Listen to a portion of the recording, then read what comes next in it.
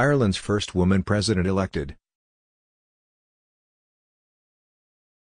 On this day, 27 years ago, the Irish people have elected a figure named Mary Robinson as their first female president. Has not been officially announced, but unofficial results show that she got 40% of the vote in the first round. Ireland's representative system means that new election results can be confirmed the next day. However, Mary's superiority at the beginning of the meeting is unlikely to be another figure who will win the election. Mary the victory itself was quickly recognized by the opposing camp. And for the first time, in 70 years, the candidate promoted by the Fianna Fáil party had to lose. Mary who is an advocate in Dublin is considered a radical. He is a civil and human rights lawyer, who has been campaigning to liberalize the law prohibiting divorce and abortion for more than 20 years.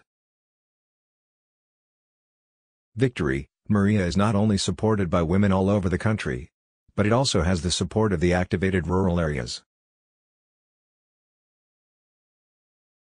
The mother of three has been a member of the Irish Senate for more than 20 years. She had twice failed to sit in Parliament as a candidate for the Labour Party. Mary, was listed as the seventh President of Ireland, from December 1990 to September 1997. She ran from the Labour Party, and was also supported by the Green Party, and the Workers' Party. In her country's history, Mary is remembered for helping to change the role of the President of Ireland from a ceremonial position to a more influential one. SU was founded a few months before the end of his term, in 1997, to become the United Nations Commissioner for Human Rights.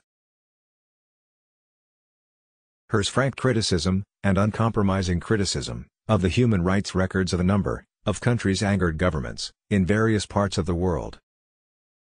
He sparked criticism from the United States after outspoken the detention of an al-Qaeda suspect at Guantanamo Bay in Cuba.